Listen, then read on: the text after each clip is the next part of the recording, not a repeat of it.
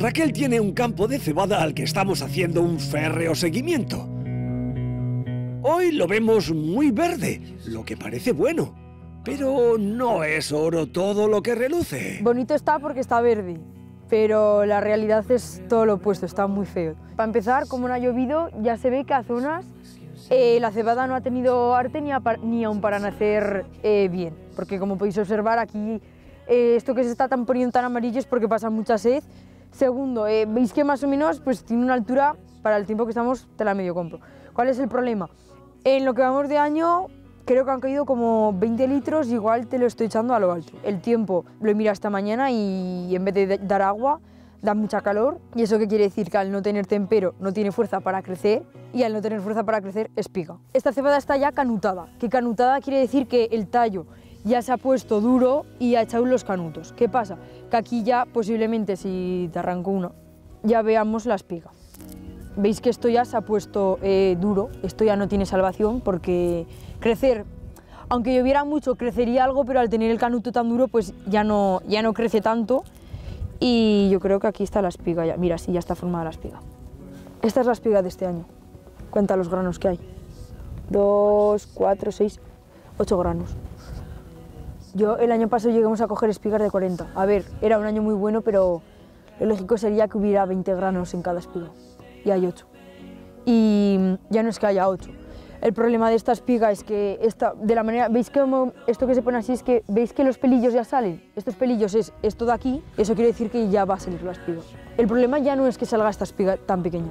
El problema es que el tiempo que dais eh, estos días se está helando, es decir, la espiga que salga ahora, este grano está líquido, se va a helar y si se hiela pues no hay nada. Y si no hiela y no llueve, el otro problema es que con el calor que hace, el grano se va a secar en cuatro días y no va, no va a valer porque la, la, harina que va a haber dentro se va a quedar, se va a consumir muy rápido y no va a quedar el grano gordo, entonces no va a tener peso específico. Entonces este año la cosa pues pinta eh, de un año muy malo de los que ya hacía años que no veíamos. El triticale, que es más temprano, no he ido a verlos por, por miedo, eh, supongo que tienen que estar ya mucho más avanzados, por lo que posiblemente estén ya hasta espigados. Una solución que se podría darle a este campo es coger y meter el ganado y que se comiera al campo. Si metemos el ganado y se lo comen, tenemos dos opciones. Uno, que llueva y al llover esto vuelva a rechitar porque rechitaría y que entonces si rechita y le llueve y el tiempo la acompaña, pues que se criara otra vez la cebada y que al tiempo que está buen tiempo y agua se criara buena cosecha y las espigas pudieran ser más grandes que ahora o que no lloviera y que pues las ovejas se comieran todo. Y yo como ya expliqué al principio de cuando empezamos a venir el campo, que lo lógico era pues sulfatar y abonar. ¿Qué pasa que este año como podéis observar que la cosecha no vale, pues no vamos a meter más pasta porque es pasta mal invertida porque no la vamos a ganar. Entonces, ni vamos a abonar ni vamos a sulfatar. A ver, sulfatar este año no hace falta, ¿por qué? Porque como no ha llovido, pues no ha habido, no ha habido genio ni aun para que la mala hierba nazca. El problema que puede ser es que dentro de 15, 20 días le dé por llover, para la cebada ya no haya solución, pero que entonces salga la mala hierba. Pero que como la cebada no vale de por sí, pues es que te da igual. Es que cuando ves un año así de nefasto, pues la ilusión se te quita y es que dices, pues es que no merece la pena. Dices, lo he rulado, ¿para qué? Para nada, porque no merece la pena. Sacas cuentas y dices, este año en la parte de agricultura, ruina. Pero ¿cuál es el problema que, tenemos? Que si parte de agricultura ruina, la ganadería está muy jodida, porque yo aquí no voy a sacar grano para, para que las ovejas coman, ni paja para alpagar para tener paja.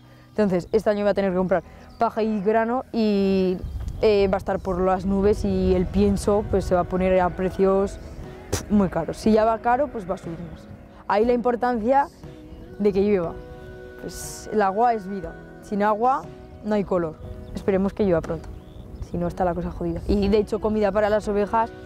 Estamos a, a un tiempo muy avanzado y ahora les estamos echando de comer por eso, porque como no ha llovido, no, hay nada, no tienen nada de comer en el monte. Está muy mal todo este año. Esperemos que cambie la tendencia y salvéis los trastos.